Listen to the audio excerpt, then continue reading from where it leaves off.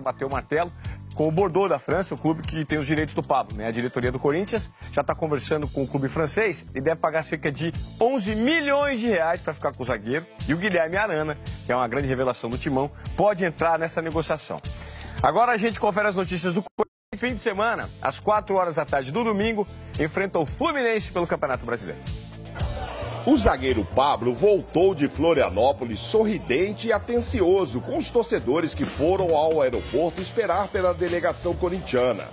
Ele, no entanto, está lesionado novamente e não vai enfrentar o Fluminense no domingo. Logo no início do jogo contra o Havaí, Pablo sentiu um incômodo na coxa direita e teve que ser substituído. Problema maior aconteceu com Jadson. Num choque com o zagueiro Betão, o meio-campista sofreu uma fissura em duas costelas e vai ficar fora do time por pelo menos 30 dias. Lógico que a gente fica triste pela saída do Jadson, que é um jogador importantíssimo para a nossa criação, mas o Fábio vai, vai buscar alternativas para que possa ser suprido da melhor forma possível.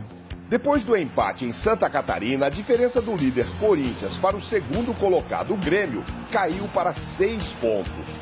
Lógico que preocupa, né? A gente não queria ver essa vantagem cair, né? Mas como a gente sempre vem frisando, existe ainda tem muito campeonato pela frente. Contra o Havaí, o Corinthians completou 29 jogos sem derrota. É a terceira maior invencibilidade da história do clube. Mas ficar invicto não é prioridade. Lógico que é legal, né? A gente ter essa marca de estar tá buscando isso, né? Mostra o trabalho que, que a equipe está tendo né, e mantendo. Mas isso aí não, não é o nosso principal objetivo, né? A gente está focado mesmo no campeonato em somar pontos e brigar lá em cima até o final. Do aeroporto, os jogadores vieram aqui para o centro de treinamento, mas foram liberados imediatamente. Eles só retornam para os treinos nessa sexta-feira à tarde. E é por aqui que o zagueiro Pablo vai iniciar o tratamento na lesão da coxa.